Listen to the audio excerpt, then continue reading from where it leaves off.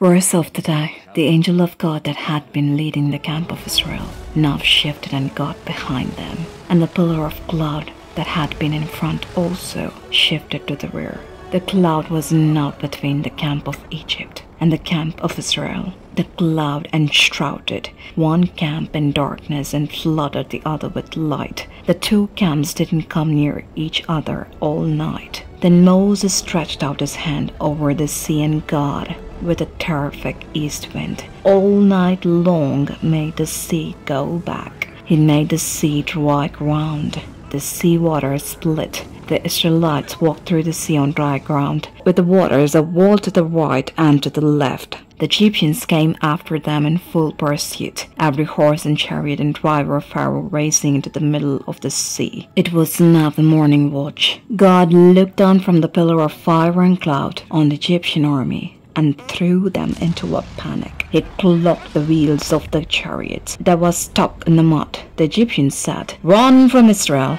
God is fighting on their side and against Egypt.